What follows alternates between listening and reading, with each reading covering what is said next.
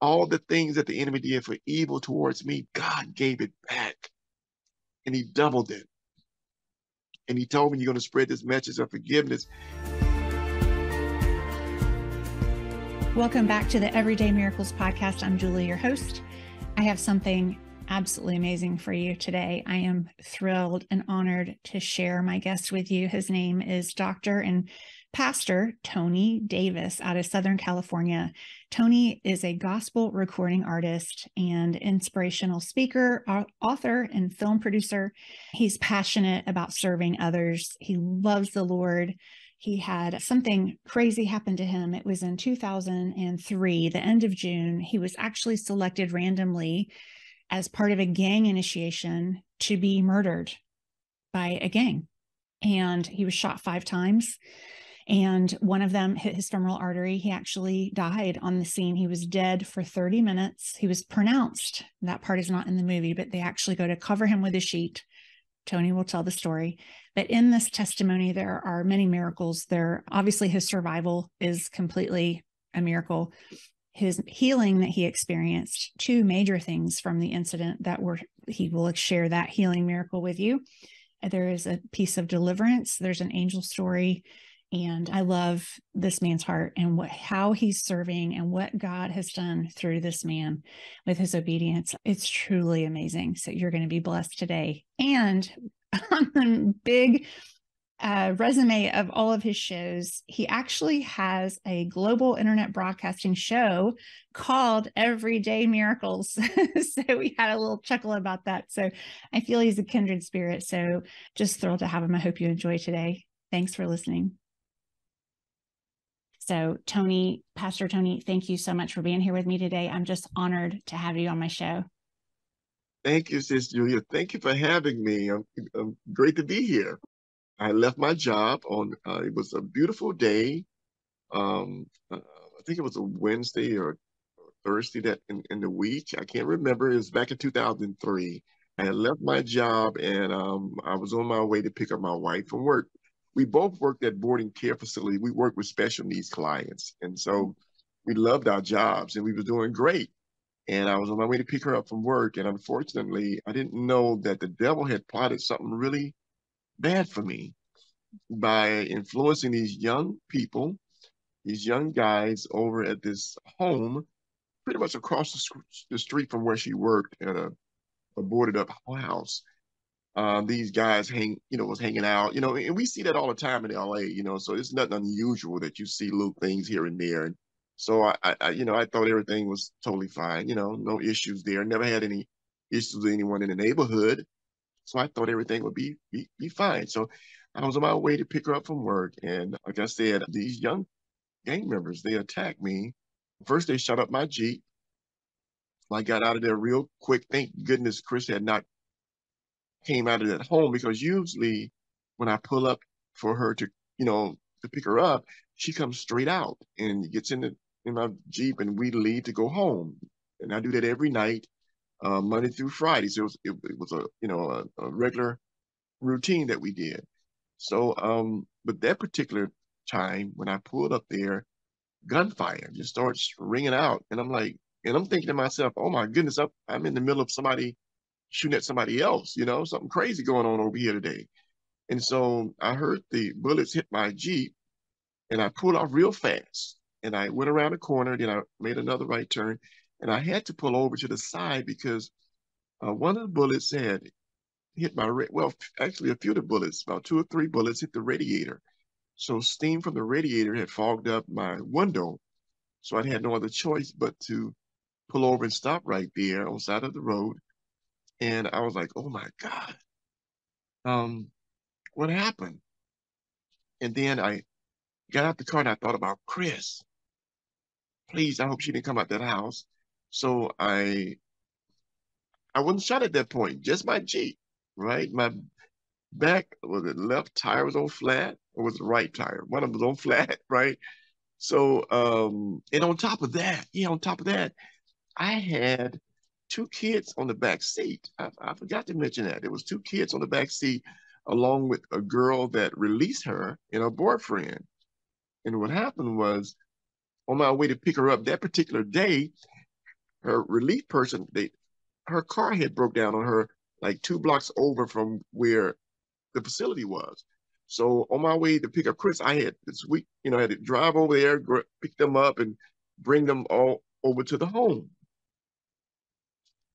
And thank goodness, um, when I remember looking at the back seat at the kids, and they were just their eyes were like buck because it was one of the kids was about five, I think, the other one was about seven. But thank God no bullet hit came inside to actually hit us individually, you know? Um, and so I, I, I, you know, they they took the kids and, and they made a call to, to get out of there, right? So I ran back over to the house to check on Chris. And I got over there and um, Chris said, I heard the gunshots. I, I'm like, she said, oh my God, I couldn't believe that was happening over here. I said, me neither. I said, you know what? This is it. You will not be coming back over here anymore. I'm sorry. This is it right here.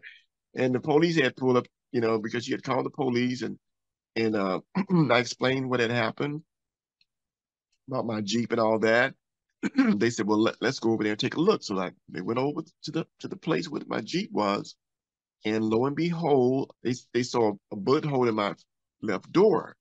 And the police said a nine millimeter did that. I'm like, oh my God nine millimeter. And then he saw the, the tire flat and he said, you know what? We've been having issues in this area where gang members are killing people init- to initiate to be a part of a gang. They're killing people. Uh, we had two incidents about three weeks ago, a few blocks from here. We got an idea of the gang that's doing this type of activity. We're going to go and do investigation. And I'm like, okay, call AAA. They called AAA truck for me and the mistake was they left me there. They said, well, look, we, we called another unit. The, the unit is on its way. So you should be okay. I said, yeah, I hope so. I'm looking around. I hope so. You know, I, okay. And they left me there. And when they left me there, a few moments later, I couldn't believe what happened. A few moments later, about 15 minutes later, I looked up and I saw the AAA truck coming down the road, and I began to wave by right here, right here all of a sudden, as I was walking in the middle of the street trying to flag down the AAA truck, bullets started ringing out from behind me. And um, the bullets, some of the bullets, I heard them go across my ear, right? And just, it was like, just go by my ear and begin to hit the front of the truck.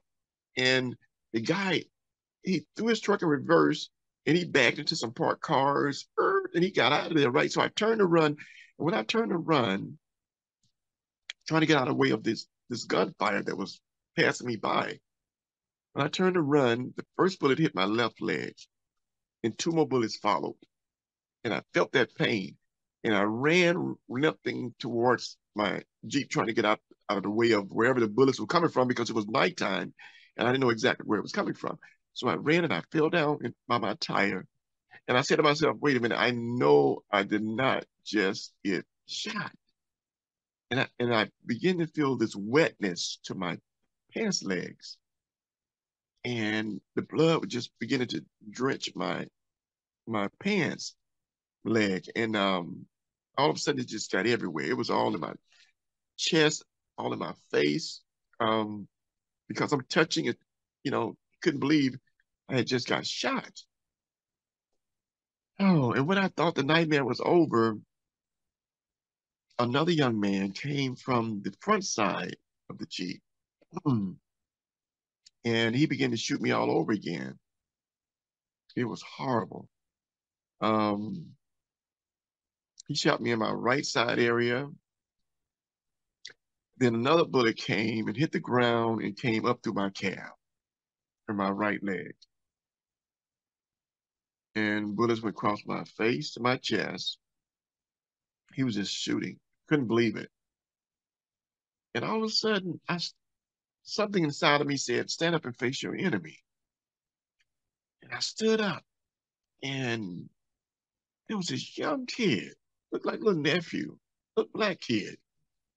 He had this gun pointed towards my head. And I said, why? What have I done to make you shoot me like this? You don't even know my name. Who are you? And then all of a sudden, since Julia, I said, it's amazing how, and I think it's so important to really, really get to know God, to really get to know Jesus, and to embed to uh, and just hold on to the Word of God. You know, to just sink it, sink it down into your spirit, man, your spirit woman. Just begin to absorb that word so that when the foes of the enemy comes up, you're able to speak life or speak against what the enemy is doing. That's what I remember as I think back on that moment. Out of nowhere, I said, in the name of Jesus, you're not going to shoot me anymore. That came out of nowhere. And I know that was because of me studying the Word of God, absorbing the Word of God, and had it down in my spirit. You know, where my spirit can speak up, when my flesh cannot. That's what I felt. And so when I said that his hand trembled, and I saw the blackness in his guy, I could tell that he was possessed by the enemy. But when I said in the name of Jesus, see, the Bible said there's power in that name. When I said Jesus, I seen the darkness in his eyes clear up.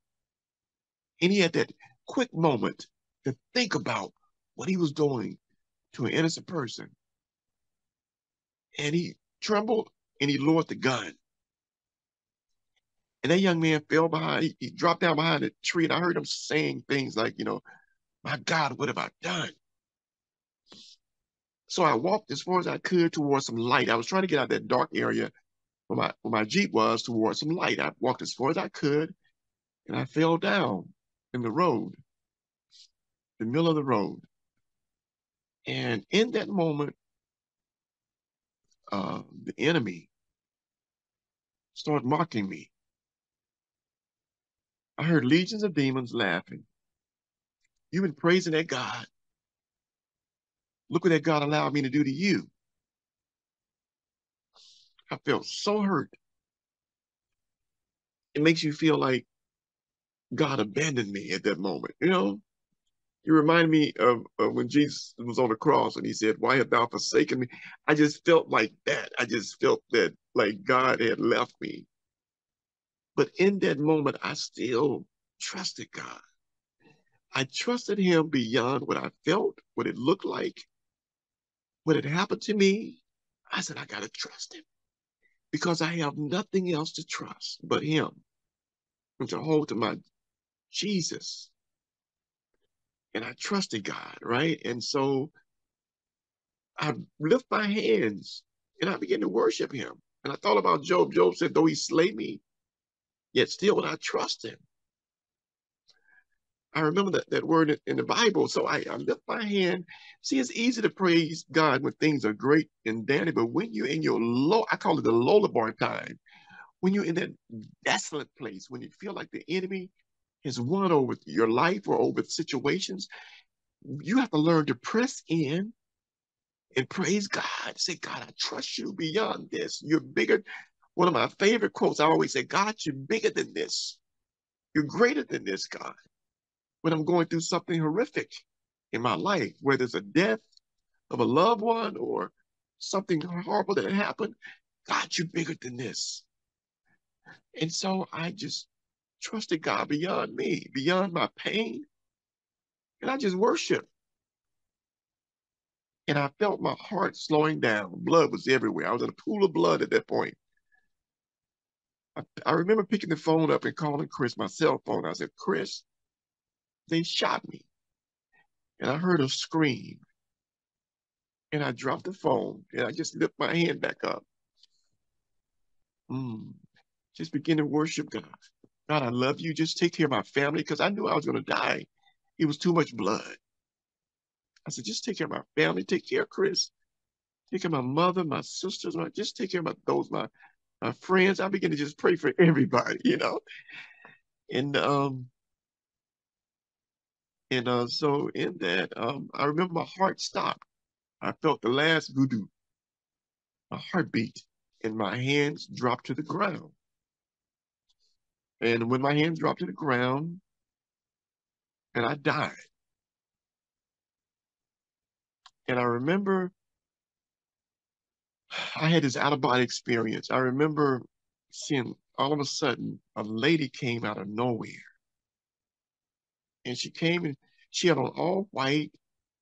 Her hair was black and gray. It was like, I know her from somewhere, even though I didn't know her, but I believe that she was my guardian angel. That's who I believe she was. She picked my head up, she placed it in her lap. And she looked up and she said, My God, what have they done?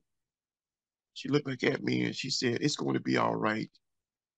And she rubbed my head one time. And she rubbed it again. I'm saying to myself, she's gonna get her dress all bloody, right? because blood was just everywhere. And I'm thinking about, you know, she rubbed it again. And the third time, I felt something come out of my body, like my soul just lifted up out of the body.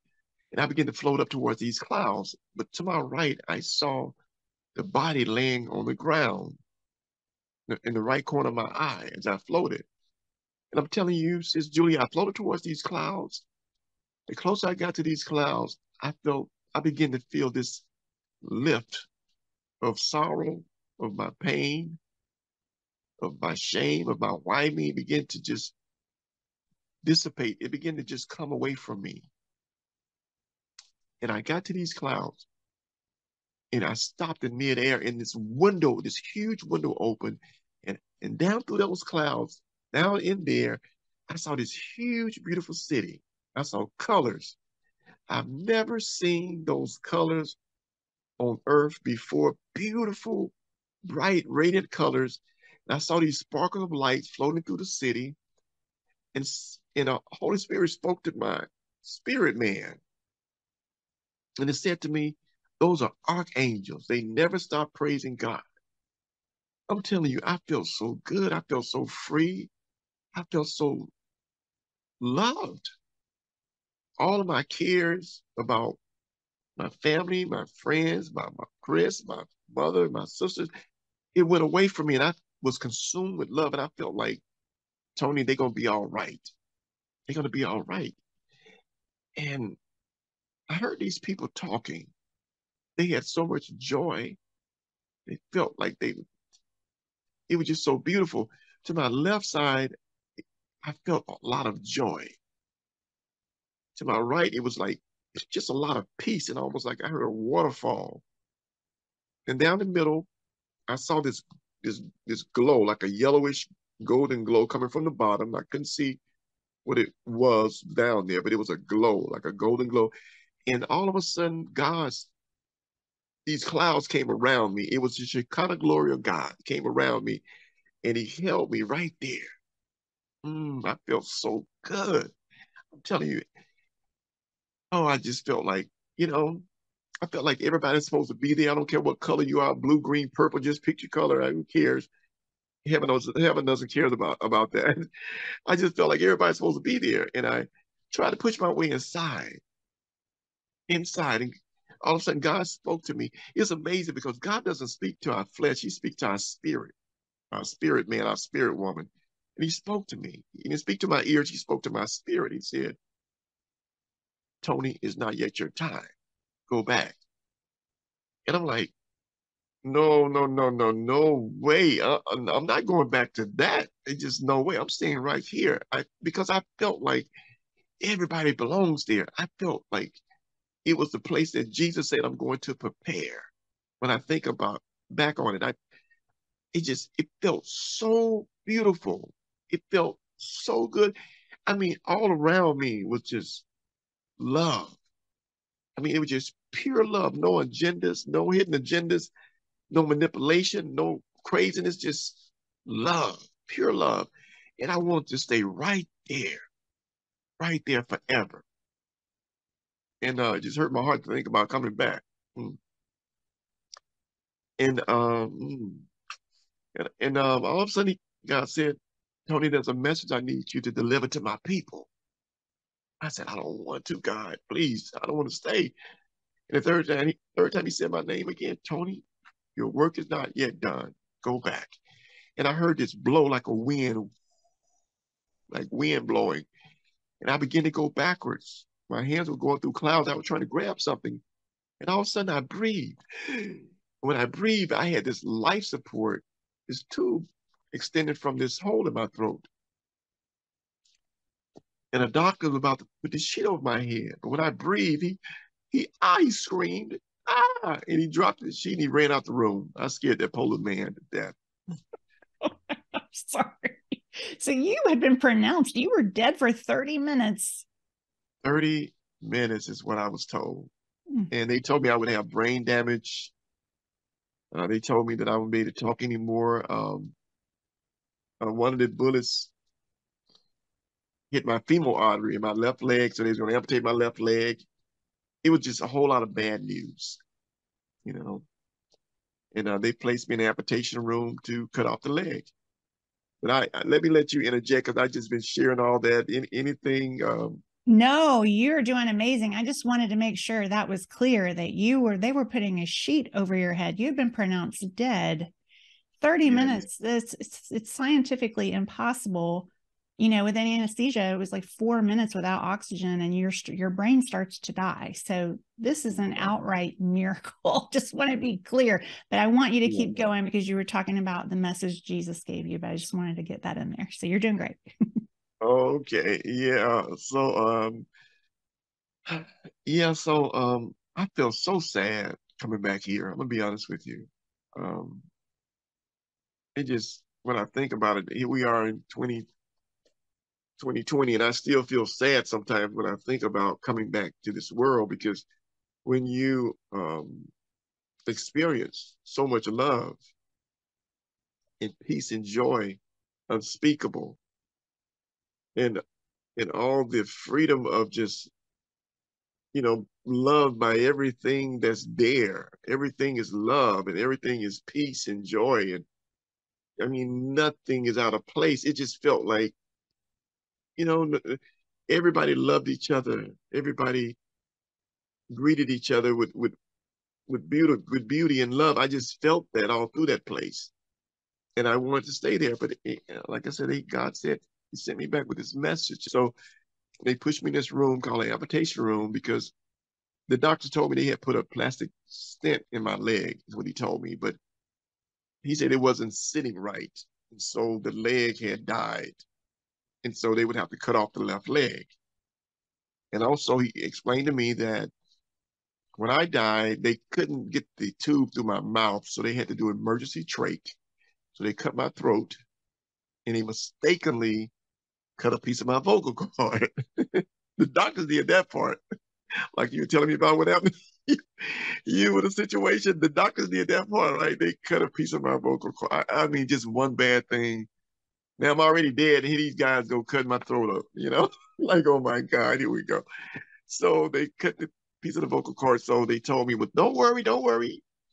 We could put a, a hole there on the side of your throat and you'll be able to speak through a microphone. And I'm like, I'm saying to myself, are you kidding me?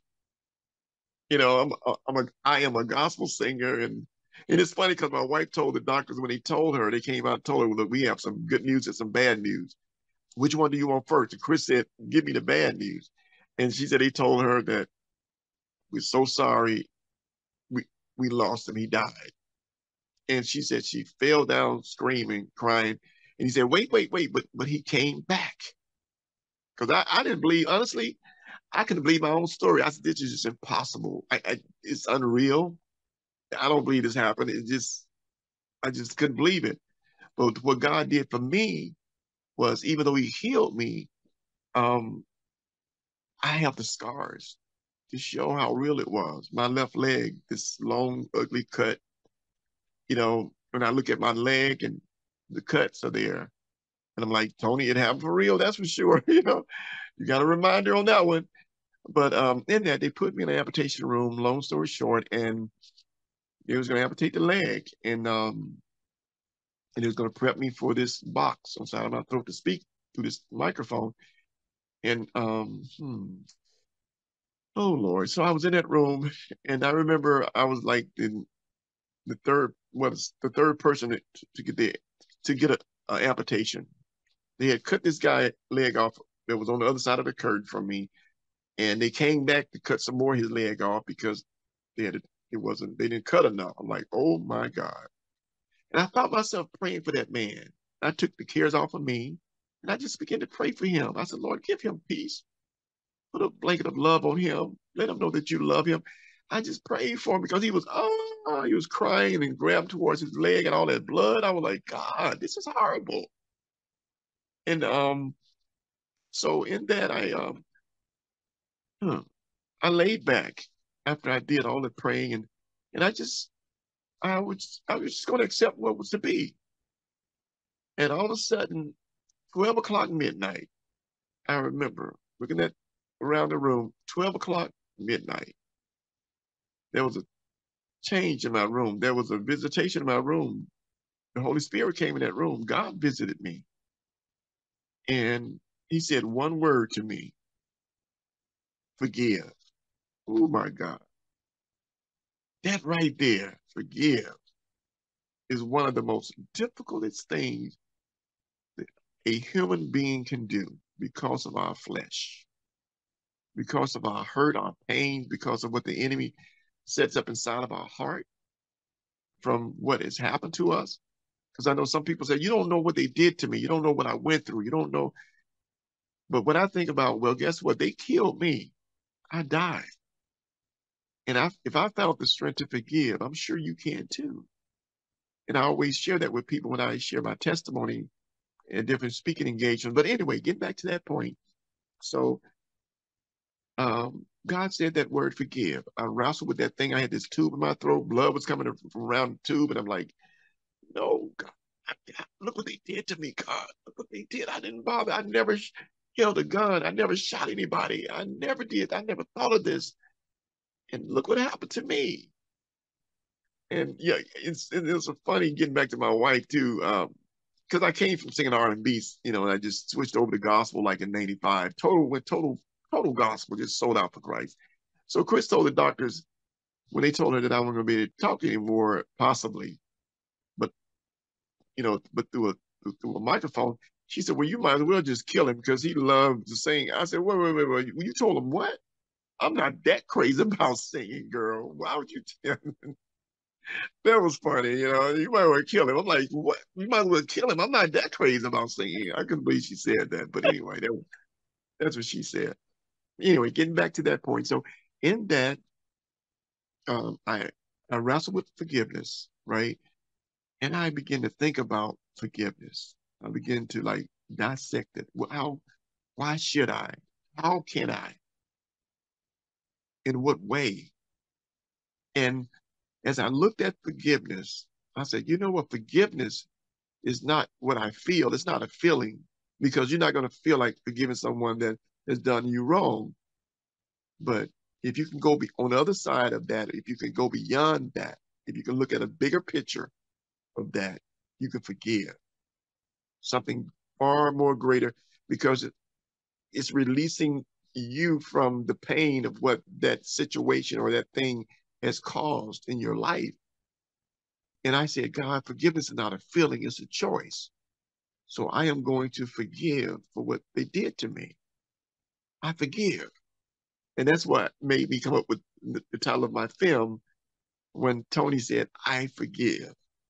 You know, and I, so I forgave. And it was like I pushed it away from me. You have to let it go and let God, as they say. It was like God opened his hand to me and said, Give it to me. So I pushed it out of my heart, my, the pain of it all. I said, God, I give it to you. All of my hurt, I give it to you, God. And it was like he just took it in his hands and just pulled, pulled it away and just demolished it out of my heart. That's what I felt. And I felt so free. I felt so good. I felt lighter. I felt like God is going to take care of my enemies. I felt like it's gonna be all right. So I let it go and I let God. And when I did that, I'm telling you this is the truth. I, the room got extra warm. There was something touched my leg and I, on my feet. It went up into the artery area, and I felt like stuff was being mingled together in my leg. It was, I know that was Jesus. I know that was the healing power of Jesus. I know what it was. It went up to my throat, and I felt stuff being mingled together in my throat. And I said, and I just lift my hand. I said, Jesus, you said you would never leave me or forsake me. You said that in your word, and I trusted your word beyond my pain. And you came here to touch me, God. Just like the woman with the issue of blood, just like the woman, she said, if I could just touch the hem of your garment, if I could just touch you, God. And I felt like I touched him. And he answered by healing me. That's what I felt. And um, I felt so good. So I laid back and went into this deep sleep. I felt so good. The next morning, I remember a few hours later, I felt something rub the bottom of my feet the, the bad leg that it was about to amputate, right? I felt something, t- and I jumped the leg and I opened my eyes. There was about seven, eight doctors around me, and this one doctor was training these other doctors on doing amputations. So they had been, they had marked my leg above the knee, and they was preparing to cut the leg off. When I jumped my leg, they were like, "Whoa!" They jumped back and they like, "Wait, wait, wait!" And they begin to grab the leg, and they were twisting and like, "This can't be." Wait, wait, wait! Did you just see that?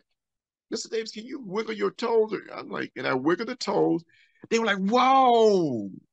They could not believe it. And they so um they rushed me to x-ray and and they said, we don't know what's going on, but there's life in that leg.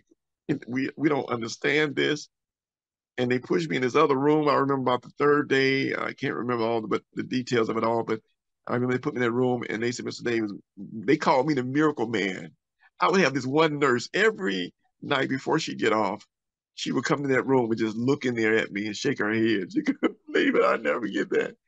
She could not believe it. She they called me the miracle man on that floor.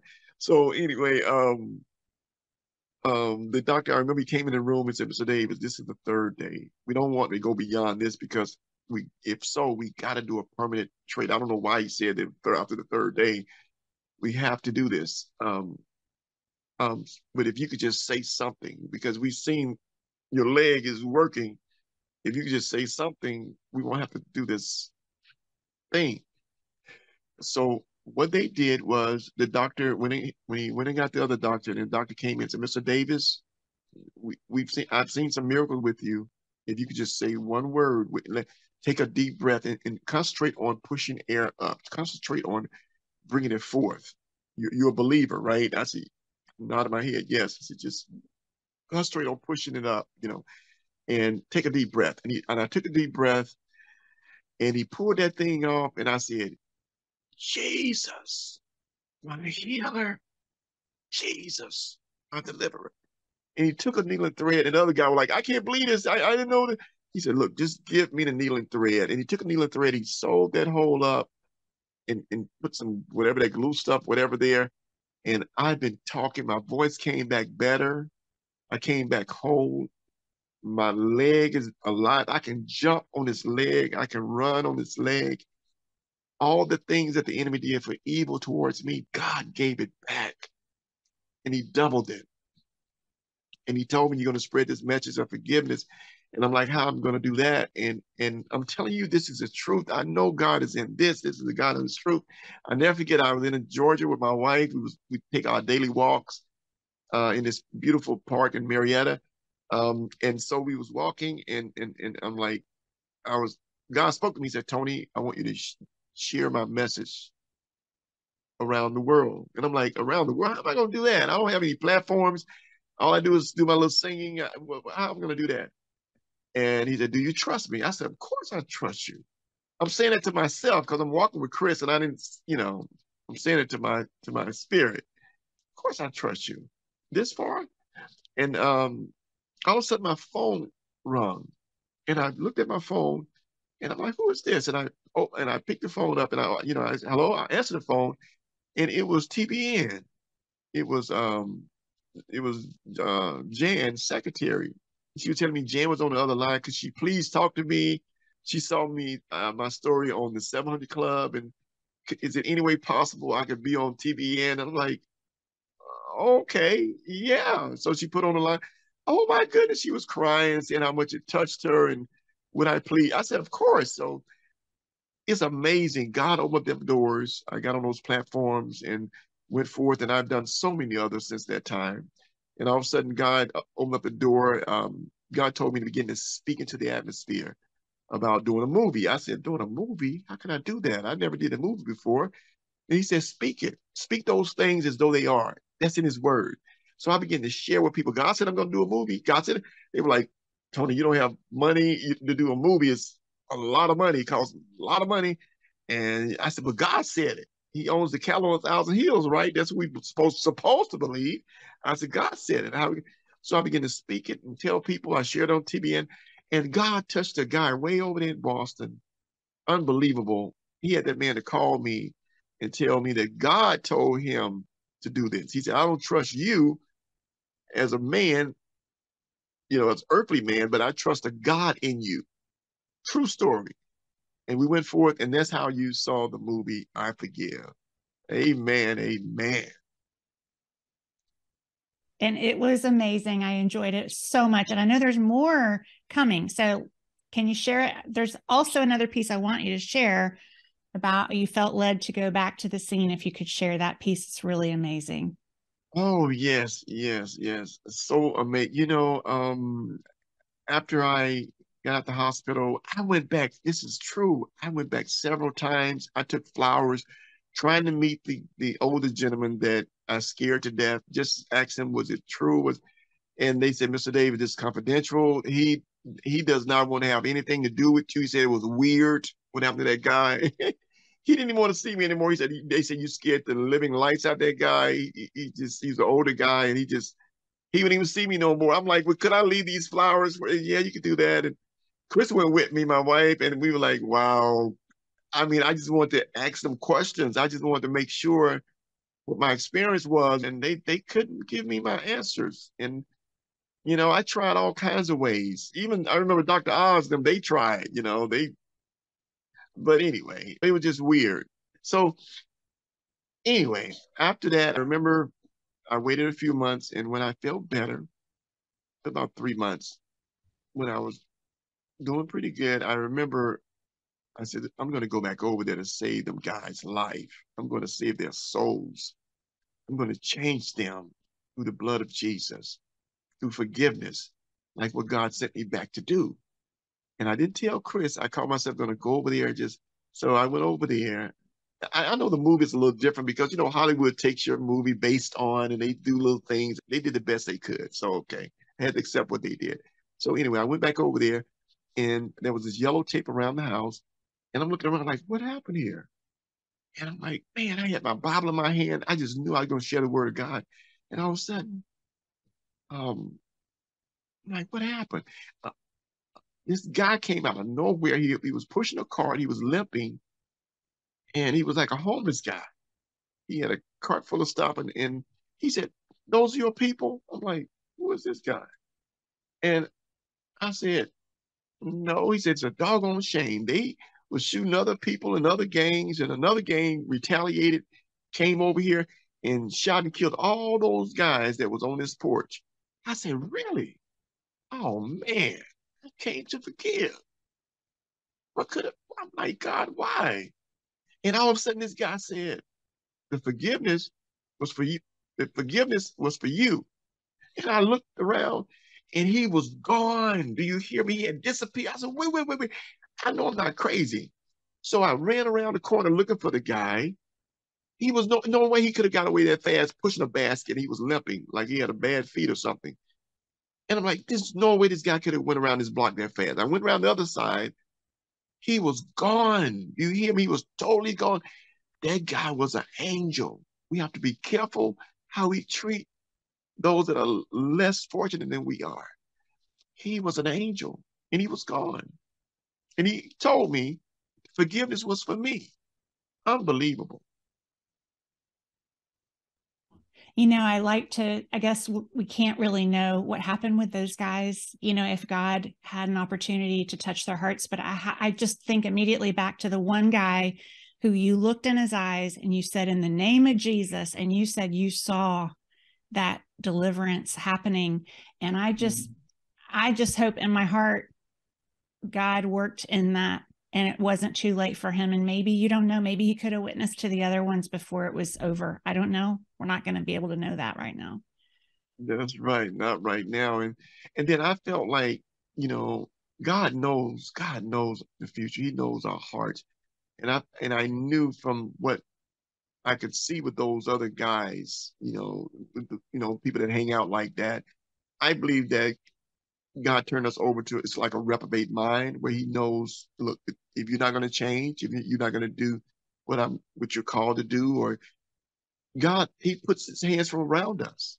he opened up the butch, as I say, just he just opened up the gate, and the enemy comes in and does whatever he wants to do. Because again, here we are in our reprobate mind. We want to do our own thing, and they, they was not going to change. And God knew their hearts. He knew they they was their hearts was was just almost like Pharaoh. It was just it was just stiff, you know. It just wasn't going to change, and so their destiny was was cut short because of their, you know, their their selfishness, you know. So now I know you have you don't have it behind you, but I know you have a book. So at what point did God lead you to write your story? And where can people can you share the name of that book? Can you share a little bit about how that journey was for you?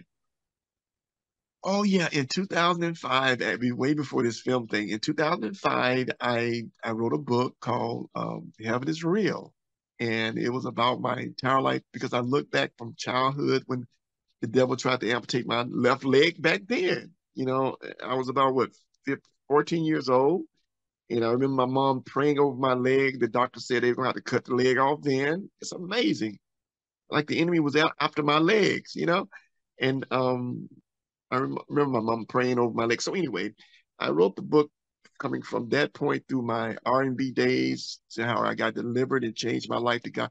It's my entire, somewhat my entire life that I wrote uh, in in that book and um, nice little pictures of family members and stuff like that. But but they can the book is available on, on my website at uh, www.iforgivethemovie.org or eh, or they can go to Amazon. Uh, and order their books. All the bookstores, you know, like it's been out there for for years now, so it's all over the place. They can they can find it, but but it's called Heaven is Real by Tony Davis and and my um, editor Avian Hartwell, but mainly I uh, Heaven is Real by Tony Davis.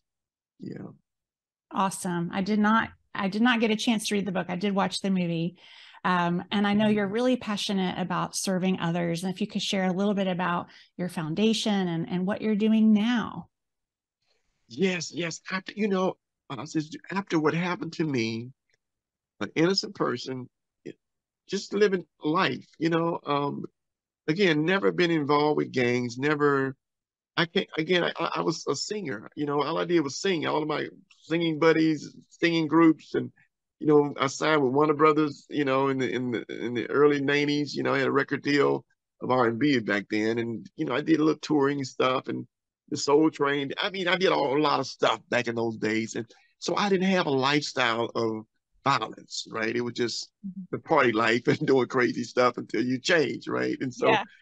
when I finally got to that end where I wasn't raised like this, I, I totally changed my life because my mom was in my ear stop singing that stuff and sing for the Lord, Tony. You know, like mom, there's no money in that.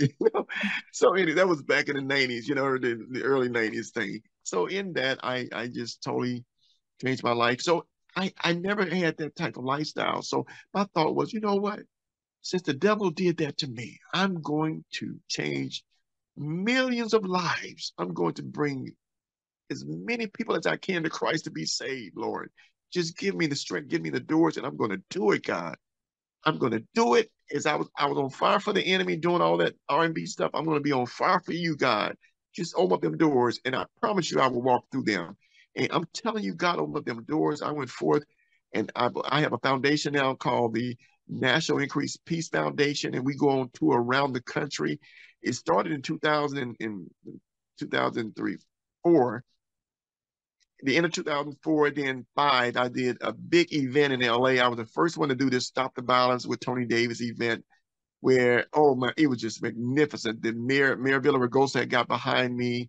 I had all kinds of special guest speakers. Um, um, AC Green of the Lakers, he came out to speak. We had, oh my, it was so awesome. It was at this called Jesse Owens Park where we had like uh, the petting zoo came. We had giveaways. We had uh, 1-800 dentist came. Job fair came. And I even got so bold till I even had ordered a helicopter to come to take people on a ride in a helicopter, right? I'm like, we're to do this big for Jesus, baby. That's what I'm. but they said we couldn't get the permit on time, Tony, not to come in the city like that. I'm like, wait, we do it for the world. I'm to do it for God. And so in that, I have this National Increase Peace Foundation. Here we are years later. I've been doing it for years. And I go tour, I was doing speaking engagements where I was calling city mayors across the country myself. And I was, I was like, I would love to come to your city to share my experience, my life. I want to change lives. I want to set the captives free. I want to share my testimony with these young people. So I was going to juvenile hall. I remember here in Downey in California, I would have 500, they would bring in 500 young people, males, and I would share my testimony. And it was so, I was so amazed at the impact that was having on those young people. It, and then they would take them out. They would bring in 500 girls, and I would share with them. But, going back to the guys, I remember this one young kid said, "Hey, sir, I, I remember that happened to me." He looked like he was about 17, 18, you know, really bad kid, I guess. He did some bad stuff. They said, "It happened to me, sir." you know, uh, and I, I, I believe in Jesus. And he said, you just, you just touched my life like never before. And he said, did you see God? And I said, well, you know what? You can't see him, but you can feel his presence. It's almost like wind blowing across your skin. And they were like, oh man, they, they, they received it so powerfully, you know? And since that time, I've been mentoring ex-gang members. I had one to come to my movie screening here lately, and he shared about how he was going to kill himself. Colonius broke my heart with that. He said he was going to kill himself. He said, but I always picked up for him. But I stood my grounds on foolishness. I'm like, you're not going to keep walking down that road and thinking that I'm going to pray with you and, you know, and you're not changing your life because you're, you're, you're going to turn into a reprobate mind. You're not going to think that my prayers is going to deliver you from your evilness that you keep doing. So I was kind of stern on some certain things that I deal with certain people, you know, and I'm led to do so. And I said, you're going to change and you're not going to keep doing the foolishness. Either you're going to do it because you, two places you're going to end up, either the, the jail or the grave. Make your choice. Sometimes you got to be stern and not play those look. oh, I want you to change. It's going to be all right. No, the enemy is crafty and he's seeking everybody that he can devour. So we got to stand firm and say, No, you're not going to live like that. You're not going to be that way. God said you're beautifully, wonderfully made, and you're going to be that beautiful woman that God called you to be. And I, and I believe in speaking those things boldly to these young people so that they can know that you're not going to stand for foolishness. And so, anyway, begin at Colonius. I'm so proud of Colonius now. Now he has his own coffee business and seafood business, and he's thriving. I'm so proud of him. But he said he was going to kill himself. He said, but you picked up and prayed for me that day, Tony. He called me uh, Pastor Tony. And you picked up and prayed for me. He said, you always picked, you always answered my calls when others wouldn't. And he said, um, I was going to kill myself that day. Mm, he just broke my heart when he said, he said, but, um, he said, but you picked up. And um, I changed my mind. And that meant so much to me um, to think about that. You know, it just meant so much that um, just to encourage, you know, someone that it's going to be all right. You know that um, keep going, even in your darkness, it's going to work out. You just got to keep trusting God. And I know it gets hard. Yeah. It gets difficult for us all. So that that that really grabs my heart to think that you can share something with someone and it can actually save their soul so um, yeah, sorry, I got a little teared out here, but no, you're making me cry earlier. I had to put you on screen because I was like, I don't want to see me crying. That was amazing. Uh, yeah. absolutely so amazing.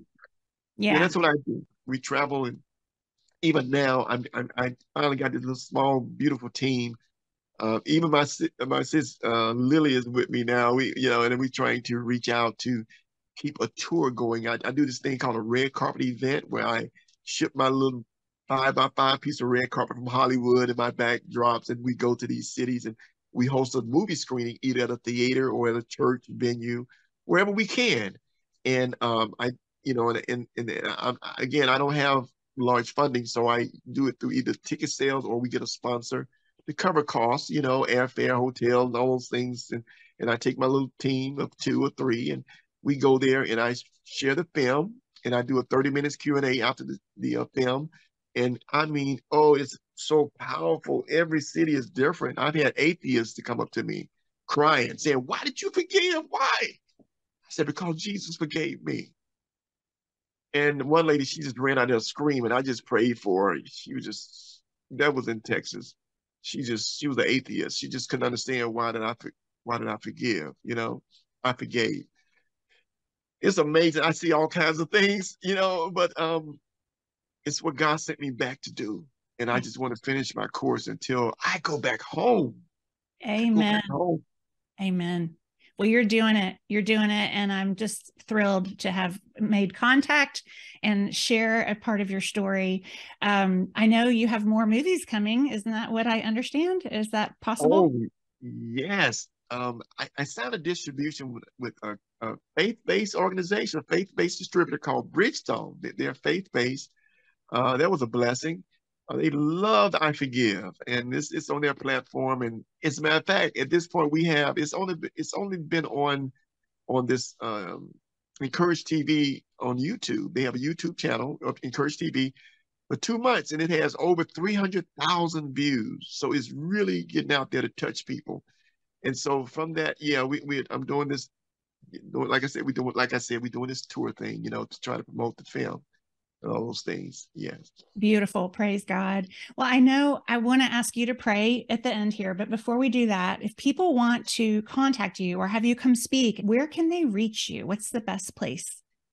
Yes, please go to the website, you know, and contact us. And and um, I'm, I am the kind of person. I'm a hands-on person. I always have been. When I even people see me on these large platforms, oh, I know it's going to be hard to get to you. No, it's not. I, I am a hand. I love to encourage. That's that's my purpose. That's why God sent me back here.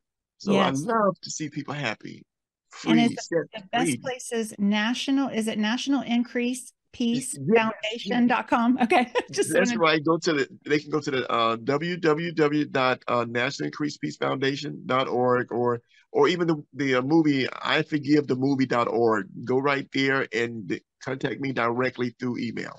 Okay, excellent. And I'm going to list those links too. Tony, Pastor Tony, this has been amazing. And I'm so happy that you're still with us. And I think, um, you know, obedience does bring blessings. And I'm just, I, I just, I'm amazed at every piece of your testimony. So if you could just take a moment, and there's so many people that are struggling with forgiveness. Um, yeah. So many people that are that are hoping God's real, but they're just waffling. Like, what can you say to those people? Can you pray over those people for me? Yes, yes, I sure can. You know, I uh, forgiveness, forgive, give means to let go, to release. Think about the four. It's something that you're going to step forward to do. Give is when you give it away. So in that, that's just something that I think to myself as I think about that word. So in that, I just want you to sit back and just take a deep breath and think about the greatness of God. Think about the greatness that's in front of you. Stop looking in, in the rearview mirror of what happened. And sometimes we adjust that mirror so we can see even further or continue to see what's behind. Instead of looking at the greatness in front of us, where God said, Behold, I want to do a new thing in you. So I just want you to just release right now. Just close your eyes and just let me pray with you and just say these words Father God, please come into my heart.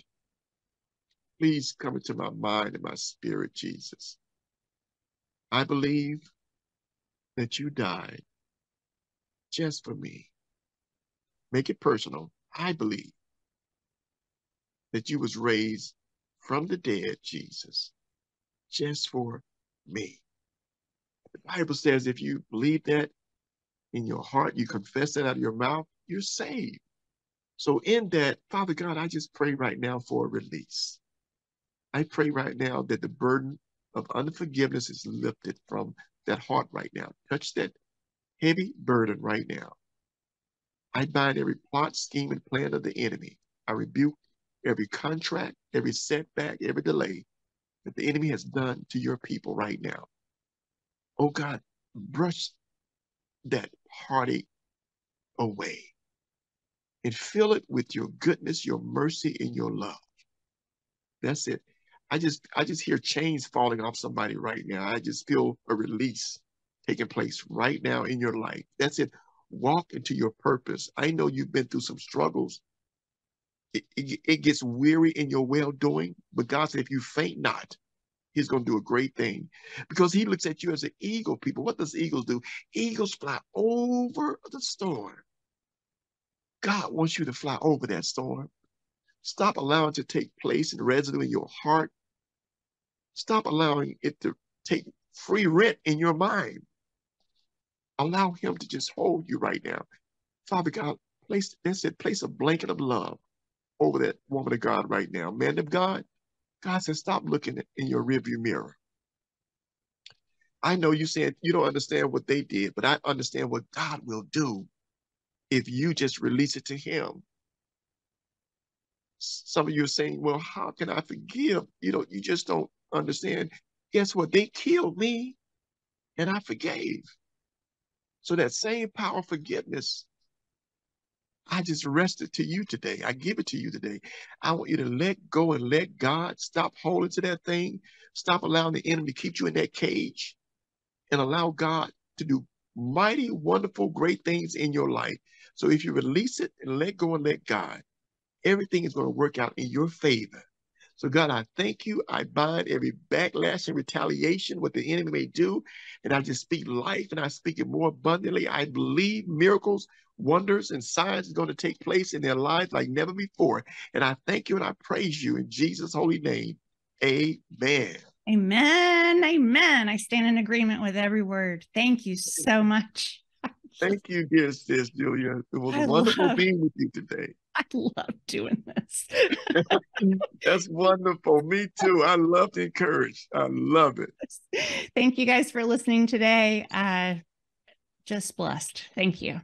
And if you have a miracle you want to share with me, please reach out to me at Everyday Miracles Podcast uh, at gmail.com. Thank you and God bless.